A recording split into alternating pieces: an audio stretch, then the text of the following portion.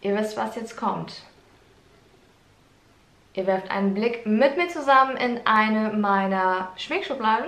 Ich werde euch jedes einzelne Teil daraus einmal aus nächster Nähe zeigen und überlegen, ob ich es wieder einräume oder ob ich es aussortieren werde. Ihr werdet sehen. Ich würde sagen, wir legen direkt los. Viel Spaß! So, hier seht ihr meine nächste Schublade. Die ist ein bisschen besonders, weil sie als erste Schublade von den ganzen bisherigen ähm, eine Schachtel enthält, zum Beispiel in dem Fall mit Mascara.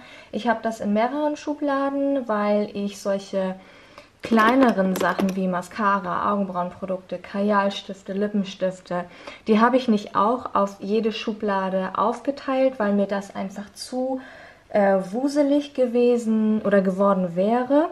Deswegen habe ich solche Sachen in Schachteln eben in den verschiedenen Schubladen untergebracht. Und hier ja, ist eben eine meiner äh, drei Mascara-Schachteln drin. Die werde ich jetzt auch nochmal durchgehen. Bei Mascara werde ich jetzt nichts aussortieren, ähm, weil ja, wenn eine nicht funktioniert, kommt sie sowieso immer weg. Das ist bei allen Produkten so. Also ich sortiere ja zwischendurch auch aus, wenn ich was ähm, teste oder was mal wieder hervorkramme und es mir nicht gefällt. Und bei Mascaras ist es ja auch ab und zu mal so, dass die einfach eintrocknen und dann kommen sie logischerweise auch weg.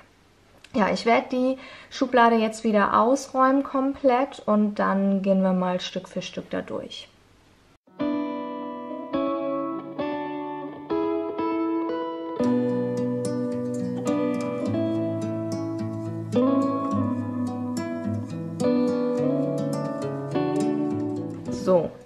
Ist sie. Ähm, ich würde sagen, ich fange auch wieder mit diesen größeren Paletten an. Die, finde ich, passen hier hinten ganz gut rein.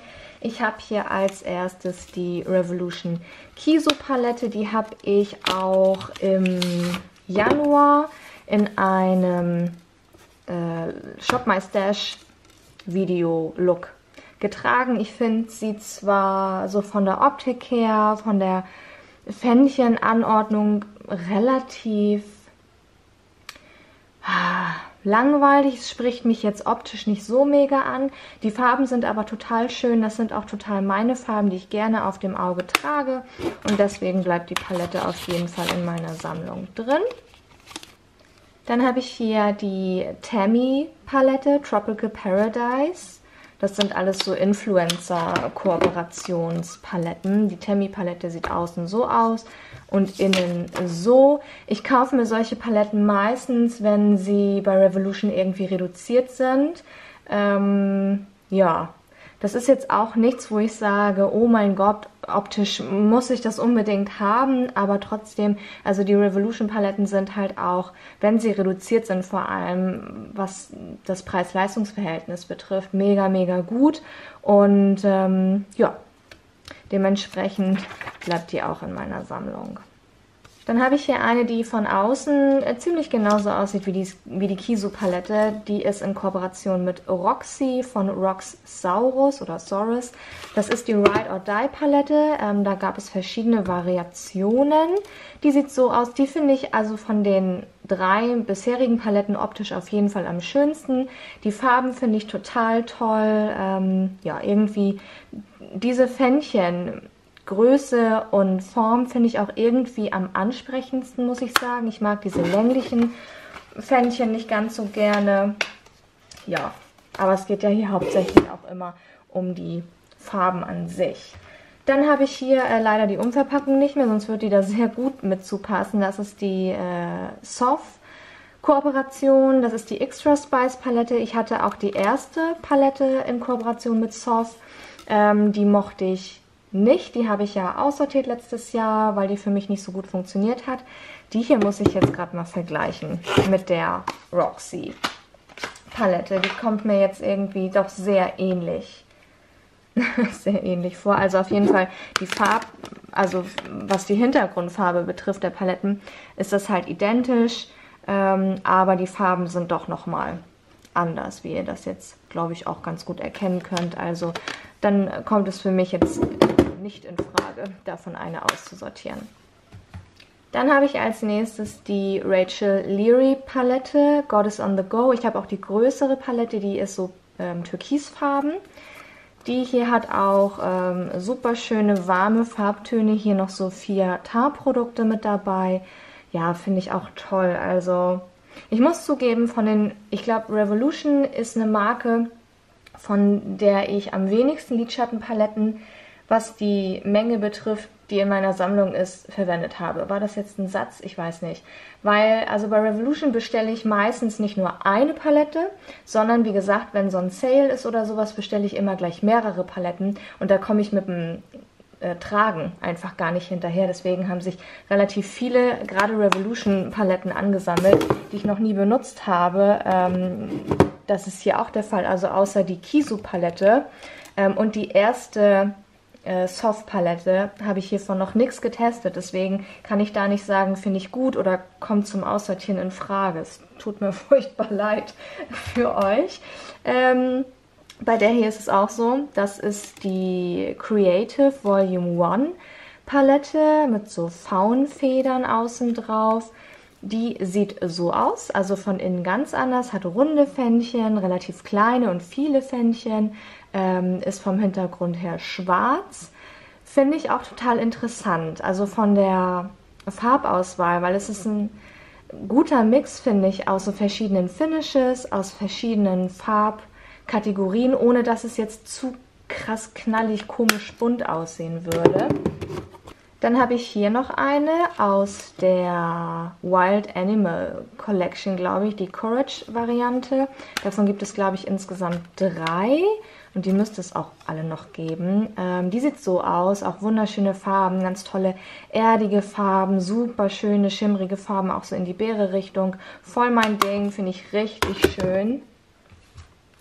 Dann habe ich noch diese hier, das ist die Flawless 4 Palette. Ähm, dementsprechend gibt es auch Flawless 1, 2, 3. Äh, ich glaube, ich hatte davon auch nochmal eine, die habe ich aber schon aussortiert. Die hat hier auch diese kleinen Pfännchen, leider noch ohne Farbbezeichnung, sondern nur mit so einem Plastikdingsbums. Ich finde es immer schöner, wenn die Farbnamen richtig auf die Palette gedruckt sind. Ähm, ja, sehr schöne Palette, habe ich auch schon mal für ein Video getragen. Ähm, auch total meine Farben. Ja, die muss ich auch behalten. Ich muss mal die beiden hier, die ich jetzt ja schon äh, getestet hatte, die muss ich mal auf die andere Seite stellen, damit ich mir das besser, damit ich die besser auseinanderhalten kann. Äh, dann habe ich hier eine etwas größere Palette von der Form her, aber immer noch von Revolution. Das ist die Live on the Dance Floor After Party. Palette davon gab es, glaube ich, auch drei oder vier verschiedene. Die sieht so aus.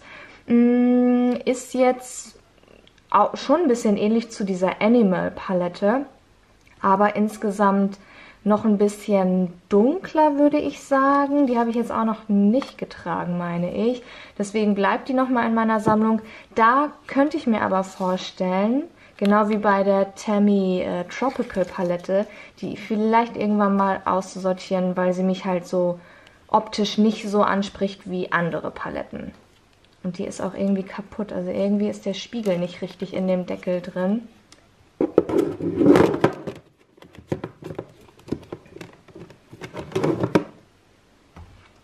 Aus dieser Serie habe ich auch noch eine zweite Palette, die also äußerlich wunder wunderschöne. Dieses Glitzer ist total schön. Das ist die Guest List Palette und oh, die ist eigentlich die ist schon sehr krass. Ich weiß gar nicht, ob das in, in der Kamera jetzt so rüberkommt wie in echt. Die Farben sind halt wirklich richtig, richtig extrem warm, extrem rotstichig.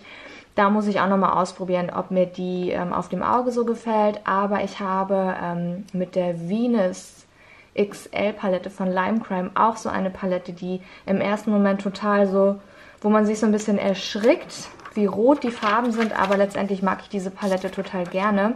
Und ähm, ich habe die Hoffnung, dass das bei der hier auch so ist. Deswegen einmal ausprobiert wird sie auf jeden Fall. Dann habe ich hier wieder eine Kooperationspalette mit Maxinieszka, wenn ich das richtig ausspreche. Das ist dann wieder eine etwas ruhigere Palette. Die finde ich sehr, sehr hübsch.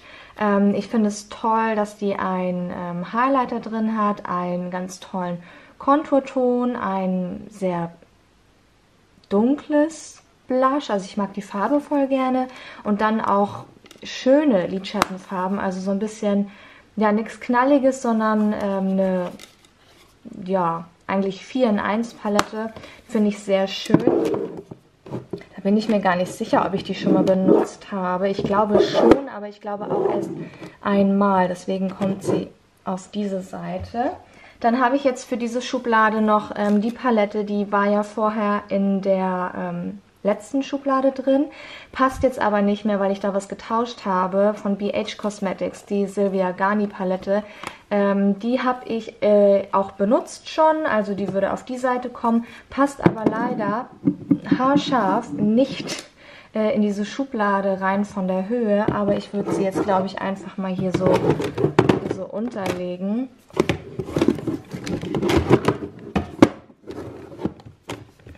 Weil die ja auch so schnell dann nicht mehr drankommt in meiner Schminkboxen-Aktion. Deswegen kann die ganz gut dahin. Die hier passen auch genau hier rein, deswegen lege ich die da mal rein. Dann habe ich hier noch eine BH Cosmetics Palette, die ist auch wunderschön glitzerig. Ähm, das ist die Fairy Lights Palette. Die habe ich auch noch nicht benutzt, die musste ich aber haben. Ich finde die Farben schön, ich finde das Packaging total schön. Und BH Cosmetics ist auch eine Marke, wo man eigentlich blind zuschlagen kann, wenn es um Lidschattenpaletten geht. Also die haben eigentlich immer eine gute Qualität.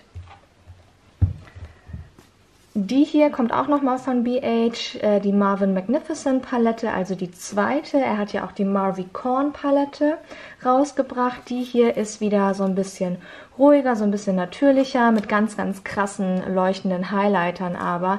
Die finde ich auch sehr schön. Ich habe sie aber, glaube ich, erst einmal benutzt, deswegen würde ich sie jetzt mal hier mit drauflegen. Also oben raus. Und dann habe ich hier noch meine einzige größere Wet n Wild Palette ähm, in Kooperation mit Bradman Rock. Die habe ich auch noch nicht ausprobiert. Das ist ähm, die Jungle Rock Palette. Ähm, fand ich auch sehr spannend mal auszuprobieren.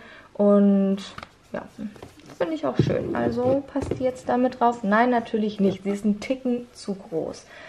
Oh, na doch, wenn man ein bisschen drückt, geht es vielleicht. Nein hier passt sie hin, wenn ich sie so hinschiebe. Ähm, dann habe ich hier in dieser Schublade meine einzige Natasha Denona Palette, und zwar die Glam Palette. Die habe ich jetzt, wo ich das Video drehe, noch nicht benutzt. Ich weiß nicht, wenn das Video online ist, habe ich es vielleicht nachgeholt. Kann ich euch nicht sagen, das werdet ihr dann vielleicht besser wissen als ich. Ähm, auf jeden Fall bin ich auf diese Palette sehr gespannt. Ich habe mir die ja im Sale gekauft weil die Paletten sonst ja wirklich sehr, sehr, sehr teuer sind. Und ich wollte immer schon mal eine Natasha Denona Palette ausprobieren, weil eben alle sagen, die Qualität ist so super. Beim Swatchen konnte sie mich nicht überzeugen. Also da fand ich vor allem so die Mattentöne nichts Besonderes. Äh, aber auf dem Auge ist es natürlich immer noch mal was ganz anderes, als wenn man es auf der Hand einfach swatcht. Deswegen bin ich da sehr gespannt drauf und freue mich drauf, die demnächst mal zu benutzen. Dann habe ich hier noch die Twilight Palette von Focallure. Die durfte ich mir mal zum Testen aussuchen. Die finde ich auch super schön. Also das ist eine asiatische Marke. Die Paletten sind relativ günstig. Da gibt es auch öfter mal Sales. Und ähm, ja, die sind wirklich toll. Also die Mattenfarben sind schön, die Schimmerfarben sind schön. Kann ich auf jeden Fall empfehlen. Die habe ich für ein Video einmal benutzt. Ähm, deswegen, oh, die passt hier jetzt auch nicht rein. Das ist ja jetzt dumm. Das, doch, wenn ich jetzt drücke, oh Gott, gleich sprengt es mir hier die Schublade. So passt sie rein. Aber ist das jetzt gut für die Schublade? Ich weiß es nicht. Nee, ich lasse es lieber. Ähm, ich glaube, die werde ich einfach in eine andere Schublade nochmal unterbringen. Oder passt sie hier rauf? Ja, sie passt hier rauf. Okay, dann kommt die hier so hin. Ihr seht es, glaube ich, gar nicht so richtig. Äh, jetzt. Also da liegt sie jetzt drauf auf diesen Paletten. Okay, aber das hier ist echt ein bisschen blöd, dass die hier nicht hinpasst. Dann werde ich die wahrscheinlich in eine andere Schublade umschichten. Ja, machen wir das so. Dann habe ich noch ein paar kleinere Lidschattenpaletten. Einmal die von Boutique. Das ist die, oh Gott, wie heißt die? Äh, so. Keine Ahnung, das ist eine von den ersten Boutique-Paletten. Ähm, ja, die habe ich von meiner lieben Kollegin geschenkt bekommen, deswegen werde ich sie behalten. Von der Qualität her, vielleicht habt ihr es auch mitbekommen damals, wo die Paletten rauskamen, gab es sehr viel Kritik. Ich finde auch zu Recht, ich finde sie vom Swatchen her super, super, super, super, super schwach. Also es gibt äh, viele, sehr viel bessere Paletten. Mittlerweile gibt es die Paletten ja auch gar nicht mehr. Ja, aber ich behalte sie eben, weil es ein Geschenk war. Ich lege die mal hier so drauf. Dann habe ich äh, von Catrice die Crystallized Rose Quartz Palette. Die sieht so aus, finde ich ganz schön. Ist jetzt auch nicht die beste Catrice Palette, aber sie ist in Ordnung. Ich mag die Farben. Ähm, ja, wenn ich das alles darauf tue, ist auch doof, ne? Packe sie hier nochmal mit hin. Dann habe ich noch die Tartlet Toasted Palette von Tarte. Die finde ich sehr schön. Äh, das ist auch meine, ein nee, gar nicht meine einzige Palette von Tarte. Ich habe ja noch die Schildkrötenpalette. Ja, die finde ich sehr, sehr hübsch. Ich mag die Farben total gerne. Ich mag die Qualität. Ich mag die Optik der Palette. Die habe ich mal, die habe ich glaube ich mal in einem Blog-Sale gekauft. Also, ja, die habe ich nicht im Original gekauft. Ja, aber trotzdem ist sie noch äh, sehr gut erhalten, sehr voll und sehr schön. Dann habe ich hier noch drei kleinere Paletten und dann war es das auch mit die Schattenpaletten erstmal für diese Schublade. Essence Adventure Awaits ähm, Palette. Die äh, ja, ist Teil einer LE gewesen. Ich finde die total süß mit diesen Heißluftballons und ja, auch da ist es nicht die beste Qualität, aber das hat einfach Sammlungscharakter, deswegen wird die auf jeden Fall in meiner Sammlung bleiben. Dann habe ich hier diese Superpower Blechdosenpalette. Ähm, ich glaube, die werde ich aussortieren. Ich mag nämlich eigentlich nur das Rot. Das Rot ist wirklich ein tolles, schimmerndes Rot, aber auf alle anderen Farben kann ich irgendwie ganz gut verzichten. Ja, okay, wir sortieren aus. Die hier aber nicht, das ist die Rain or Shine Palette, auch aus dieser Essence Blechdosen Kollektion.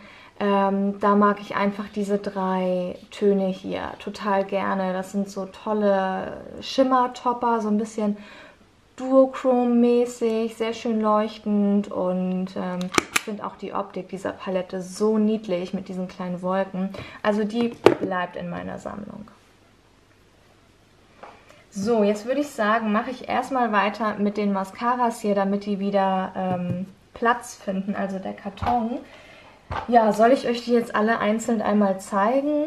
Ich mache das jetzt einfach mal, auch auf die Gefahr hin, dass ihr das total langweilig findet. Ich schütte die einmal kurz aus und dann kommt diese Box wieder rein. Also ihr seht, es ist eine Glossy Box.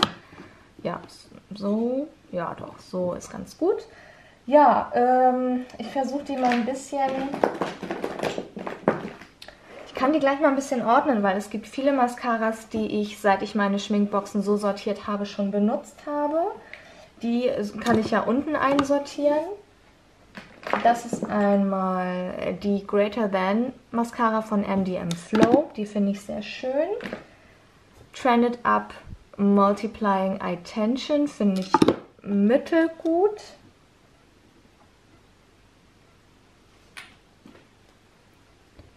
Essence Rock'n'Doll finde ich gut. Ja, viele Mascaras gibt es leider gar nicht mehr. Ähm, Manhattan Volume Shake Mascara finde ich mittel. Rival de Loop Better Than Yours Mascara finde ich sehr, sehr, sehr gut. Die gibt es auch noch.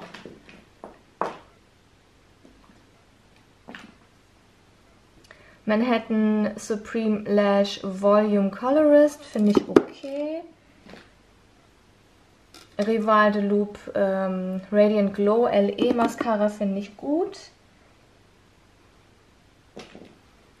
Maybelline Lash Sensational Mascara finde ich sehr gut. Da habe ich auch noch ein Backup von.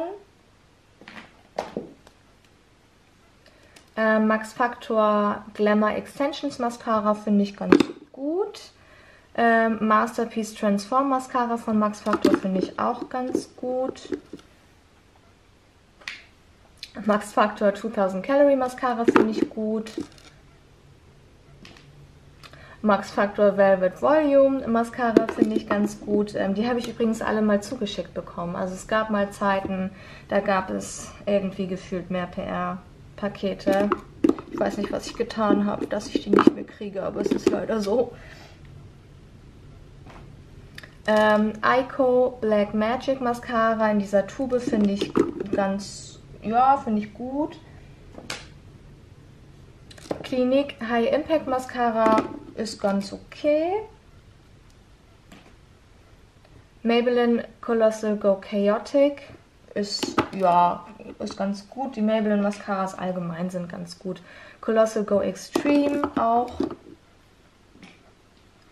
Dann habe ich die äh, L'Oreal Bambi Eye Mascara, die ist auch sehr schön. Die ist ziemlich alt, Catrice Lashes to Kill Mascara, äh, die finde ich gut. Die kam mal aus der My Little Box von My Little Beauty, die Mademoiselle Mascara, die ist auch ganz gut. Äh, Manhattan Wanderlux Volume ist okay. Also Manhattan Mascaras finde ich allgemein okay. Maybelline Mascaras finde ich gut. Max, Max Factor Mascaras finde ich okay bis gut. Dann äh, habe ich hier noch die Sandstone Mascara. Äh, die ist okay. Hier haben wir nochmal Manhattan Volcano Explosive. Essence Mascaras finde ich meistens sehr gut. Äh, Lash Princess Mascara, mega, mega, mega. Das ist auch noch eine weitere aus dieser Reihe. Also die sind wirklich, die sind super, super toll. Ähm, Urban Decay Perversion Mascara, die ist gut. Catrice Lashes to Kill Pro Mascara ist okay. Davon habe ich auch nochmal die wasserfeste Variante. Wasserfeste Mascaras benutze ich ähm, nur wenn es sein muss. Also wenn ich irgendwie weiß, ich gehe schwimmen oder so. Ansonsten mag ich das nicht. Ich mag das Abschminken einfach nicht. Hier habe ich noch eine kleine Größe von der BH Cosmetics Stellar Lash. Die fand ich bis dato, glaube ich, ganz gut. Ich habe sie aber auch erst einmal getragen, also ein, einmal eine Woche, glaube ich. Ähm, Isadora auch eine Probegröße All Day Long Lash, fand ich ganz gut. Wird aber auch bald leer sein. Estee Lauder Little Black Primer. Ich glaube, das ist gar keine richtige Mascara, ne? Oder nennt die sich nur Primer? Ich weiß es gar nicht. Habe ich noch nicht ausprobiert, wie ihr merkt. Dann habe ich hier noch eine kleine Probegröße von der MAC in Extreme Dimension. Die finde ich gut. Ähm, L'Oreal Paradise Ecstatic, die ist gut. La Roche-Posay Tolerian Mascara Multidimensions Mittel äh, Nochmal eine kleine Größe von der Clinique Mascara. Die ist ganz gut. Benefit Roller Lash mag ich sehr. Und hier habe ich noch so eine ganz ähm, dünne Mascara von P2 Upper and Lower Lash Line Skinny Mascara. Die ist natürlich auch super alt, aber bisher hat sie noch funktioniert. Werde ich aber meiner Tante weiter verschenken, weil sie solche Mini-Bürstchen immer sucht in der Drogerie, weil sie eben super feine, jetzt geht die nicht mehr zu hier, na, jetzt. Ähm, weil sie super feine Wimpern hat und kleine Augen und deswegen mit sowas besser klarkommt. Also die werde ich hier bei mir aussortieren und ihr weiter verschenken. So, das waren die Mascaras. Dann würde ich sagen, mache ich weiter mit Primern. Da habe ich diese beiden. Bei Primern ähm, sortiere ich auch nicht aus. Die brauche ich einfach auf, es sei denn, sie gefallen mir halt überhaupt nicht. Ich habe hier einmal den Laura Mercier Primer. Gibt es in der Form leider nicht mehr. Den finde ich ganz gut, ist wie so eine angenehme Tagescreme. Und von Erborian habe ich hier die Pink Perfect Creme. Ähm, habe ich jetzt länger nicht mehr benutzt, kann ich jetzt im Moment nichts zu sagen. Als Foundation habe ich hier drin das Day All Day 16 Hour Long Lasting Make-up von Essence. Ähm, ich habe mir das einmal nachgekauft, weil Elfie von Elfie Loves das so gerne mag. Und ich muss sagen, beim ersten Mal mochte ich es nicht gerne, weil es mir zu stark auf der Haut lag, weil es mir zu maskenhaft war. Ich mag eher den natürlichen Effekt. Ähm, aber ich werde es auf jeden Fall nochmal weiter testen. Ich habe es bisher erst ein, zwei Mal getragen. Davon kann man irgendwie noch nicht so wirklich ein Make-up beurteilen. Deswegen bleibt es auf jeden Fall erstmal in dieser Schublade drin. Als Fixing Spray, ja, surprise, surprise, meine ganzen Backups vom Catrice Dewy Glow Fixing Spray sind hier überall verteilt. Das werde ich natürlich super gerne aufbrauchen. Ähm, einen Concealer habe ich tatsächlich nicht in dieser Schublade, weil ich tatsächlich gar nicht so viele Concealer habe. Das ist natürlich auch ein Produkt, was sich schnell aufbraucht und dementsprechend ja, hat es für diese Schublade bisher nicht gereicht mit meinen Concealern. Aber wenn diese Schublade mal dran ist, würde ich es einfach so machen, dass ich mir aus einer anderen Schublade eins äh, dazu nehme. Äh, Fixing Powder habe ich aber, und zwar von Rival de Lubian, gibt es also nicht mehr das ähm, lose Fixing Powder. Das ist so ein weißes Puder. Ja, finde ich ganz okay. Ihr wisst, ich mag ähm, lose Puder nicht ganz so gerne, aber ich komme damit schon einigermaßen klar. Es ist halt immer so eine Sauerei auf dem Schminktisch, deswegen mag ich es nicht so gerne. Ähm, Bronzer habe ich einmal den hier, den mag ich sehr gerne von Misslin. Beach Please Bronzing and Contouring Powder. Ich habe die Variante Holiday Hooray. Ist ein sehr schöner Ton, ähm, nicht zu warm, aber schon ein bisschen aufwärmend. Ähm, ja, davon gibt es verschiedene Farben. Ich mag halt die Verpackung auch voll gerne. Ja, das ist ein gutes Produkt. Das bleibt auf jeden Fall in meiner Sammlung. Ähm, als zweiten Bronzer habe ich den hier, der war mal in einer Glossybox drin, äh, von Model Co. ist der. Den finde ich auch ganz schön. Der ist noch ein bisschen dunkler, aber also auch ein bisschen schimmernd, aber wenn man da mit so einem Puderpinsel reingeht, ist es voll in Ordnung, mag ich gerne. Und dann habe ich noch den Essence Hello Good Stuff Matte Glow Bronzer da drin. Der ist ja relativ neu im Essence-Sortiment. Der ist sehr, sehr schön. Der ist auch kühl vom Unterton her. Die obere Seite hat so ganz, ganz, ganz leichten Schimmer mit drin. Sieht man aber auf der Haut so gut wie nicht.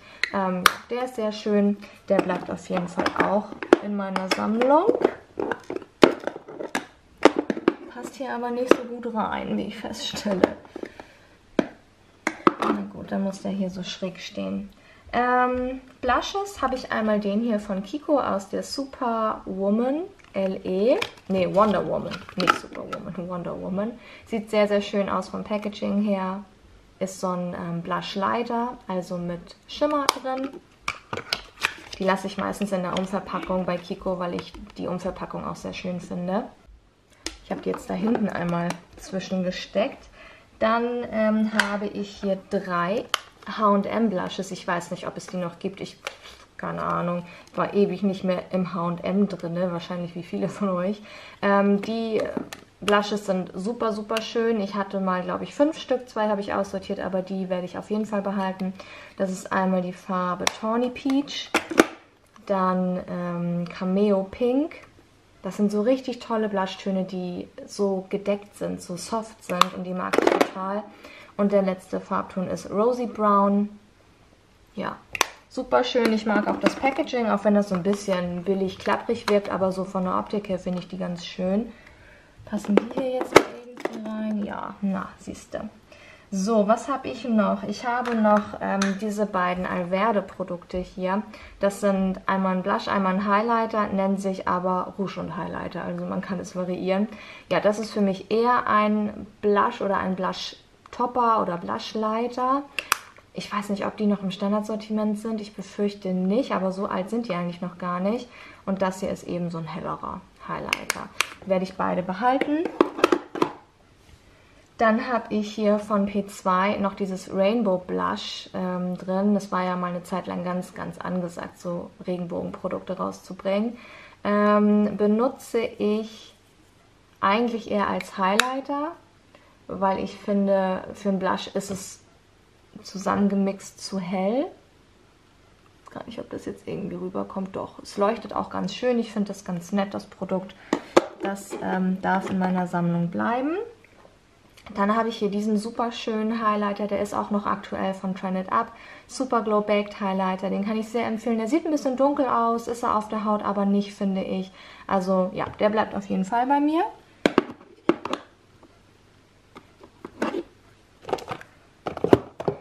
Den mal hier.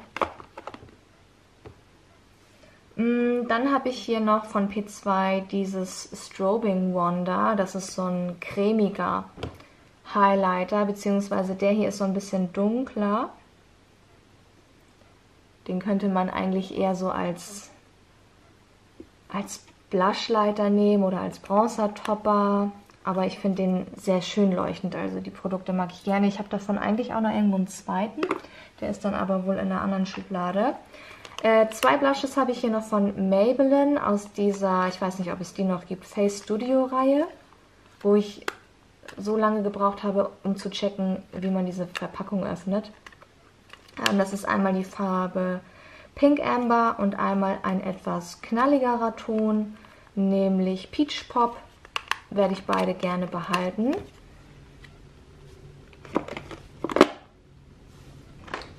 Dann habe ich hier noch ein Lippenprodukt drin, wie in den ganzen anderen Schubladen vorher auch. Jeweils immer ein äh, Lipkit von Rival de Loop aus der Matte Couture Serie. Hier ist es die Farbe Gone. Das ist so ein dunklerer ähm, Beerefarbton.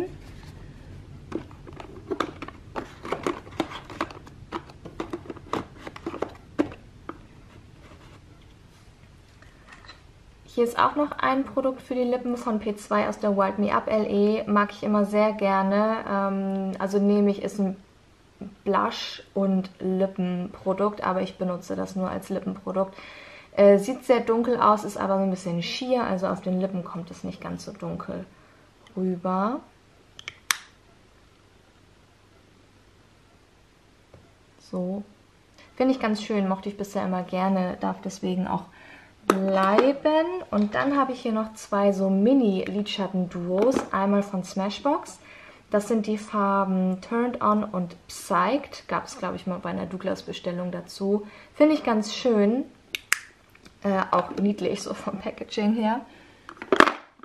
Und hier habe ich so eine Mini-Duo-Palette von Art Deco. War mal in meinem Art Deco Adventskalender vor ein paar Jahren.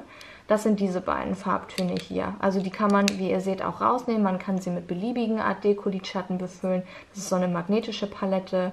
Ja, diese beiden sind jetzt drin. Vielleicht tausche ich das irgendwann mal aus, aber auf jeden Fall werde ich diese Umverpackung hier sehr gerne behalten, weil ich die voll schön finde. Ähm, genau. So, dann hätten wir diese Schublade auch wieder ein bisschen ähm, aufgeräumt. Es sind wenige Produkte rausgewandert. Also ich glaube, das ist der Negativrekord, was jetzt das Aussortieren betrifft. Aber diese beiden Produkte sind es geworden. Ähm, ja, Warum ich die anderen nicht aussortiere, habe ich euch erzählt. Ich glaube, das ist so zu akzeptieren. Und dann würde ich sagen, schließen wir diese Schublade und das Video für heute. Ich sage ganz, ganz vielen Dank bei euch fürs Zuschauen und würde mich freuen, wenn ihr beim nächsten Mal wieder mit dabei seid. Bis dahin, habt einen schönen Tag, macht's gut. Ciao, ciao.